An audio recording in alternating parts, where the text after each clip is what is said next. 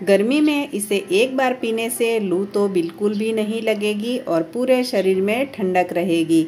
साथ में इसे स्टोर करके तीन महीने तक रख सकते हैं और ये बहुत ही हेल्दी है, साथ में फटाफट से बन जाता है।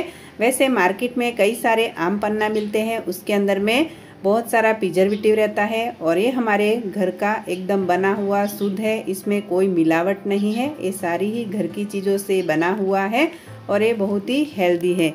नमस्ते दोस्तों, मेरी रेसिपी में आप सभी का बहुत बहुत स्वागत है। मेरी रेसिपी पसंद आए तो प्लीज़ इसे लाइक कर देना। मेरी चैनल पर पहली बार है तो मेरी चैनल को सब्सक्राइब कर देना। सब्सक्राइब करना बिल्कुल फ्री है। तो चलो रेसिपी बनाना स्टार्ट करते हैं। मैंने यहाँ पे आम लिया है। ये वाला आम ज़्यादा खट्टा नहीं आता है। तो जब भी आप आम पन्ना बनाए तो यही वाला आम लेना है। इसे तोतापुरी आम कहते हैं।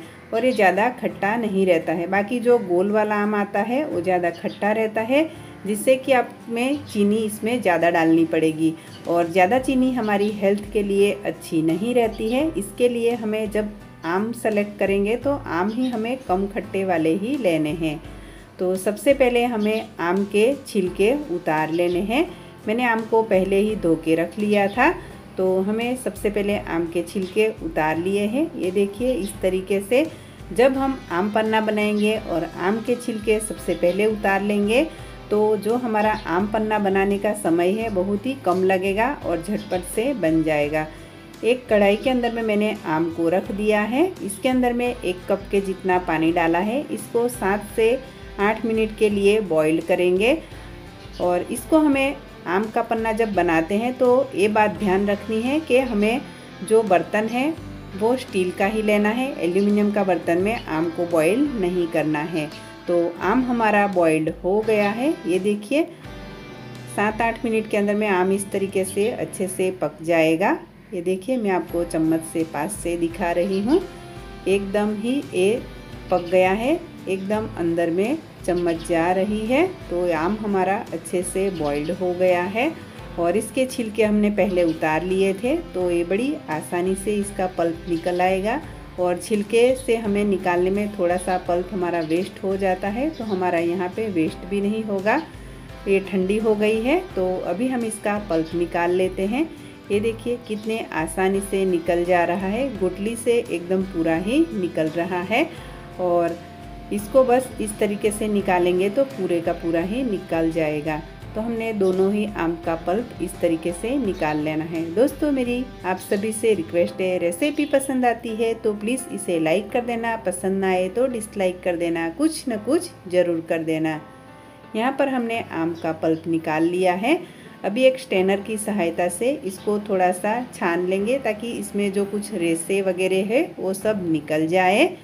तो इसको इस तरीके से बस थोड़ा गोल गोल घुमाएँगे तो सारा ही रेसा वगैरह कुछ रहेगा, सब निकल जाएगा। तो इसको हमने छान लिया है। अभी चलते हैं नेक्स्ट स्टेप की ओर। ये देखिए, मैं आपको पास से दिखा रही हूँ कितना क्रीमी और सॉफ्ट निकला है। कढ़ाई में चीनी डालेंगे। यहाँ पर मैंने एक कटोरी चीनी लिया है और एक कटोरी पानी डालेंगे। करीबन 200 ग्राम के जितना चीनी है और उतना ही हमने इसमें पानी डाला है। यहाँ पर हमें चीनी का पाक नहीं बनाना है। बस चीनी हमारी अच्छे से मेल्ट हो जानी चाहिए। तो चीनी इस तरीके से मेल्ट हो गई है। मैं आपको पास से दिखा रही हूँ। बस हाथ में हमें हल्का चिपचिपापन आना चाहिए। ना तो हमें इसका कोई तार वाली चाशनी बनानी है। बस इसको खाली मेल्ट कर लेना है। जब चीनी हमारा अच्छे से घुल गया है तो जो हमने पल्प को छान के रखा था, सारा ही पल्प इसके अंदर में ऐड कर देंगे। और चम्मच से बस इसको घुमाना है ताकि चाशनी के अंदर में सारा ही पल्प मिल जाए। बस इसको एक मिनट तक इस तरीके से करेंगे तो पूरा ही पल्प मिक्स हो जाएगा। अभी इसके अंदर में डालते हैं कुटा हुआ इलायची। इलायची बहुत ही ठंडा रहता है और हमारी हेल्थ के लिए अच्छा है, इसलिए हमें इलायची डालना बहुत ज़रूरी है। साथ में भुना हुआ जीरा डाला है, एक चम्मच के जितना, काला नमक डाला है, आधा चम्मच के जितना और सब चीज़ों को मिक्स करेंगे।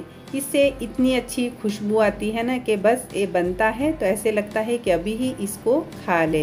ये देखिए, मैं आपको पास से दिखा रही हूँ। इसकी खुशबू तो इतनी अच्छी है, मैं आप तक पहुँचा नहीं सकती हूँ, मगर आपको मैं दिखा ज़रूर सकती हूँ। तो इसके अंदर थोड़ा फ़ूड कलर डालेंगे ताकि ये बिल्कुल ही बाज़ार में जैसा मिलता है ना, आम पन्ना उसी के जैसा दिखे। फ़ूड कलर डालना ऑप्शनल है। आपको पसंद है तो डालिए, नहीं डालना है तो आप स्किप भी कर सकते हैं। इसको डालने के बाद में इसको हमें धीरे धीरे करके मिक्स कर देना है। ये देखिए, इस तरीके से हमने मिक्स कर लिया है। अभी इसको हम ठंडा कर लेते हैं और ठंडा होगा, उसके बाद में हम इसके अंदर में डालेंगे एक सीक्रेट चीज़। जी हाँ इसमें डालेंगे नींबू, जिससे कि चीनी का क्रिस्टल नहीं बनेगा। जब इसको हम ज़्यादा देर तक स्टोर करके रख सकते हैं दो तीन महीने के लिए तो एकदम ये फ्रेश रहेगा। और ठंडा होने के बाद में नींबू डालेंगे, जिससे कि ये कड़वा नहीं होगा। अगर गर्म ने नींबू डाल दिया तो हमारा आम पन्ना कड़वा हो जाएगा। तो ये हमारा अच्छे से ठंडा हो गया है और ये देखिए, इतना ये गाढ़ा होना चाहिए। आपको मैं पास से दिखा रही हूँ तो ये अच्छे से ठंडा हो गया है। चलो अभी हम इसको सर्व कर लेते हैं। एक ग्लास लेंगे, उसके अंदर में दो चम्मच के जितना आम पन्ना डालेंगे और ठंडा पानी डालेंगे। तो यहाँ पर हमारा एकदम रिफ्रेशिंग और टेस्टी वाला आम पन्ना बन के तैयार हो गया है। ऊपर में थोड़ा सा पुदीने का पत्ता डाल देंगे तो ये हमारी एक ग्लास बन गई। अभी हम दूसरा ग्लास बनाते हैं। यहाँ पे मैंने चिया सीड को पहले 15 मिनट के लिए भिगो के रख दिया था। दो चम्मच आम पन्ना डालेंगे और थोड़ा सा चिया सीड डालेंगे और पानी डालेंगे। तो यहाँ पर हमारा चिया सीड वाला आम पन्ना बन के तैयार हो गया है। ये बहुत ही ठंडा रहता है और हमारे पेट को अंदर से ठंडा रखता है और हमारी डाइजेस्टिव सिस्टम है, उसको भी अच्छा रखता है। अभी बनाते हैं तीसरा वाला आम पन्ना, जिसमें कि मैंने थोड़ा आम पन्ना डाला है और डालेंगे सोडा। सोडा डालने से इसका फ्लेवर और भी बढ़ जाता है और ये पीने में बहुत ही अच्छा लगता है। इसके अंदर एक लेमन स्लाइस डालेंगे, थोड़ा सा पुदीना डाल देंगे, जिससे कि ये बहुत ही अच्छा लगेगा। दोस्तों, क्या आज के पहले आपने इस तरीके से आम पन्ना बनाया है? बनाया है तो मुझे कमेंट में ज़रूर बताएँ।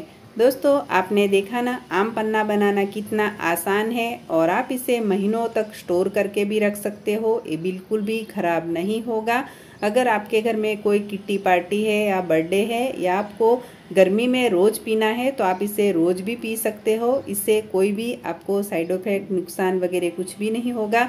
जैसे हम बाज़ार में मिलने वाले कोल्ड ड्रिंक्स पीते हैं, वो हमारी हेल्थ के लिए बिल्कुल भी अच्छे नहीं होते हैं।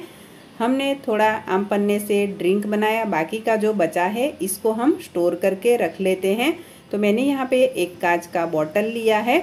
बॉटल के अंदर में आप इसे स्टोर करके रख सकते हो। अगर आपके पास में कांच का बॉटल नहीं है तो आप इसे प्लास्टिक या स्टील के बॉटल में भी स्टोर करके रख सकते हो। ये तीन महीने तक बिल्कुल भी ख़राब नहीं होगा। जब आपको पीना है, बस थोड़ा सा ग्लास के अंदर में आम पन्ना डालिए, ठंडा पानी, नहीं तो बर्फ़ डालिए और आपका ठंडा ठंडा आम पन्ना बन के तैयार हो जाएगा। दोस्तों, मेरी रेसिपी पसंद आई है तो प्लीज़ इसे लाइक कर देना और कमेंट करके बताना मेरा आम पन्ना कैसा लगा है। साथ में मेरी चैनल पर पहली बार है तो मेरी चैनल को सब्सक्राइब भी कर देना और आम पन्ना अपने फ्रेंड सर्कल में ज़रूर शेयर करना। क्या पता आप किसी के घर पे मेहमान बन के जाओ और आपको यही वाला आम पन्ना पीने को मिले तो अपने फ्रेंड में शेयर करना बिल्कुल ना भूलें। आम पन्ना की रेसिपी आप सभी ने पूरी देखी है। आप सबको थैंक यू मिलते हैं एक नई रेसिपी के साथ। तब तक के लिए बाय